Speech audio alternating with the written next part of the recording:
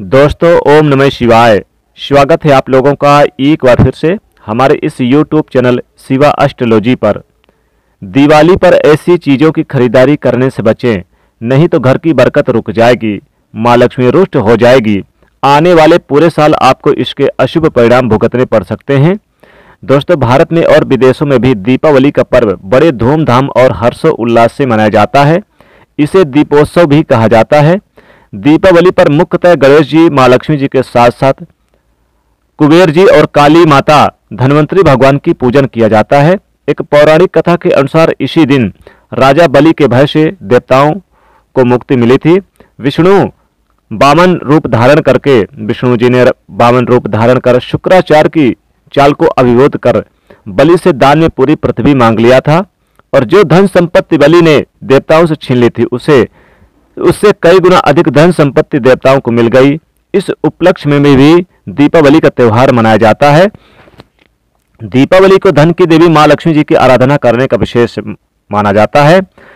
जिस प्रकार से देवी माँ लक्ष्मी जी की उत्पत्ति समुद्र मंथन से हुई थी, उसी प्रकार से इस दिन धनवंतरी भगवान भी अमृत कलश लेकर उत्पन्न हुए थे। इसलिए इस दिन का खास महत्व बढ़ जाता है। इस दिन कोई भी चीज़ें, जैसे कि आप सोने, चांदी, तांबे पीतल की धातु और वस्तु खरीदते हैं दीपावली के दिन तो उसमें तेरह गुना वृद्धि हो जाता है और इनका आशीर्वाद मिलता है। इस दिन पीतल खरीदने का बहुत ही शुभ माना जाता है, क्योंकि जो धनवंतरी भगवान अमृत का कलश लेकर निकले थे, वो पीतल का ही कलश था। अगर आपके पास सोने चांदी खरीदने की सामर्थ्य नहीं है तो आप पीतल भी खरीद कर ले आ सकते हैं। एक पौराणिक कथा के अनुसार इस दिन राजा हिमा की बहन ने अपने पुत्र को मृत्यु के देवता यमराज से बचाया था। यमराज सांप का रूप धारण कर कमरे में घुसना चाह रहे थे। राजा राजा की बहू ने सांप को बाहर से ही रोकने के लिए दरवाजे पर कई सोने आभूषण, चांदी के सिक्के और दीपक रख दिए। गहने और दीपकों को तेज चमक से, यानी कि गहनों का और दीपक के तेज चमक चमक से सांप अंधा हो गया। वो राजा के बेटे के प्राण हर न सका। इससे राजा के बेटे की शादी के चौथे दिन मरने की जो भविष्यवाणी सही साबित नहीं हुई, उसकी जान बच गई। इसलिए धनतेरस पर आभूषण खरीदने का शुभ माना जाने लगा। ये बुराई को दूर भगाने और सुरक्षा प्रदान करने का प्रतीक माना जाता है। धनतेरस के दिन शुभता, सुख, समृद्धि में वृद्धि करने वाला वस्तुओं को खरीदने का विधान है। इस दिन माता लक्ष्मी जी और गणेश जी कुबेर जी से जुड़ी हुई प्रतिमात्मक वस्तुएँ खरीदते हैं।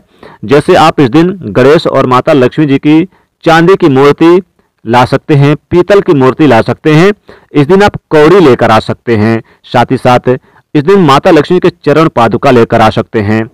अगर आप दो रुपए की आप धनिया लेकर आए, धनिया बहुत ही शुभ और पवित्र मानी जाती है तो दीपावली के दिन और धनतेरस के दिन आप धनिया लेकर आए ये माता लक्ष्मी जी को प्रसन्न करने का सबसे उत्तम चीज़ माना जाता है। और इस दिन कछुआ, चांदी का कछुआ, पीतल का कछुआ लेकर आए, बहुत ही अच्छा माना जाता है। साथ ही साथ, अगर हो सके तो केले की जड़ भी लेकर आए, बहुत ही शुभ माना जाता है।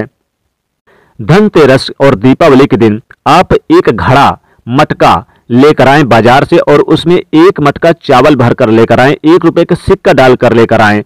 दोस्तों, ये सोने पर सुहागा है, यानी कि आपके धन संपत्ति को तेरह गुना बढ़ा देगा।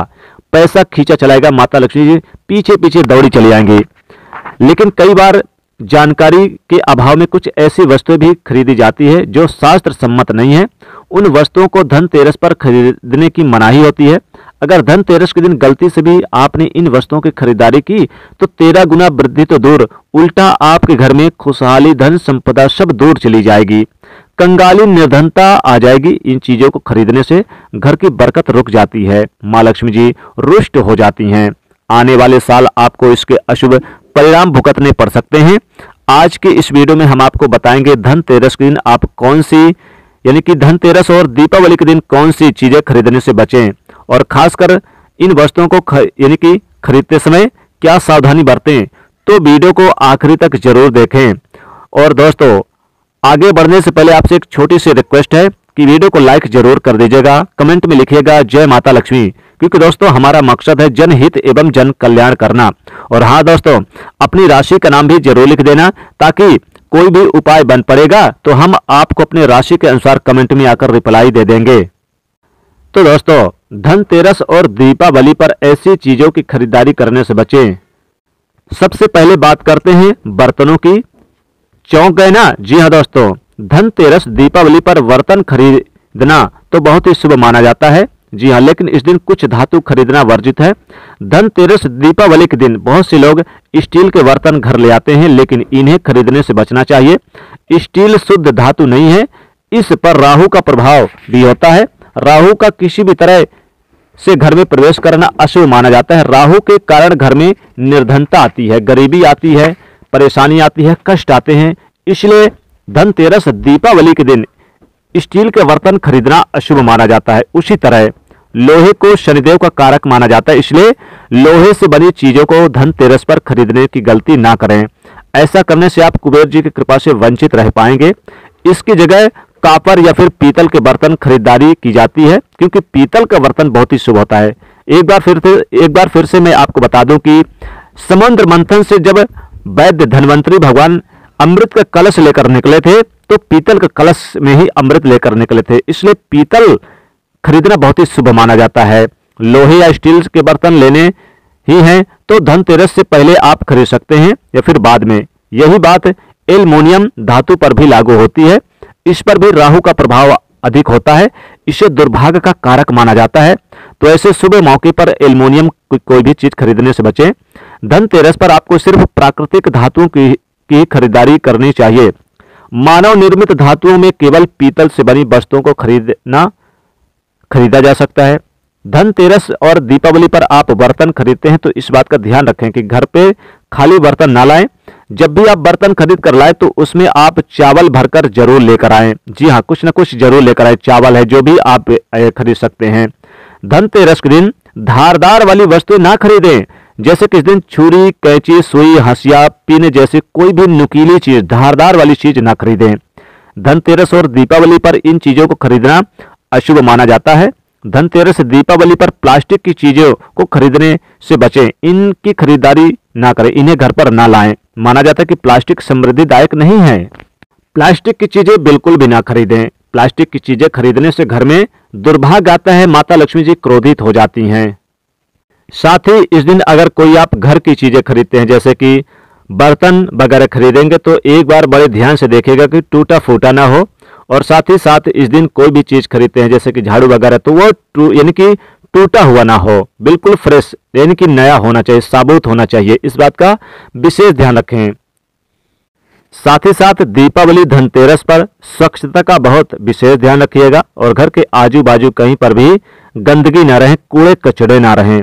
और घर से जैसे कि बंद पड़ी घड़ी है या फिर कोई फटा पुराना कैलेंडर है, इसे भी आप बाहर कर दें। इस बात का ध्यान रखिएगा। बहुत से लोग यानी कि घर में ही रखते हैं तो इन्हें बाहर करें, नहीं तो ये दरिद्रता का आगमन करता है, यानी कि माता लक्ष्मी जी रुष्ट हो जाती हैं। तो इस बात का विशेष ध्यान रखिएगा। साथ ही दीपावली और धनतेरस के दिन आप पूरे घर में गंगा जल का छिड़काव करें तो ये बहुत ही शुभ माना जाता है। तो दोस्तों, धनतेरस पर ना खरीदें, दीपावली के दिन ना खरीदें ये चीज़ें।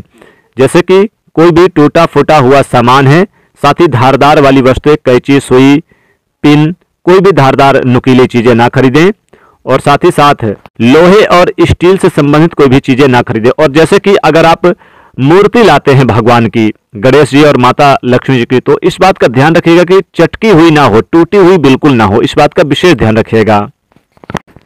तो दोस्तों, आज के लिए बस इतना ही। अगर आपको यह वीडियो अच्छी लगी हो तो वीडियो को लाइक ज़रूर करिएगा और कमेंट में माता लक्ष्मी जी का नाम ज़रूर लिखेगा। जय माता लक्ष्मी। और साथ ही साथ दोस्तों इस वीडियो को अपने दोस्तों के बीच शेयर ज़रूर कर दीजिएगा और चैनल से जुड़ने के लिए सब्सक्राइब करिएगा। जय माता लक्ष्मी।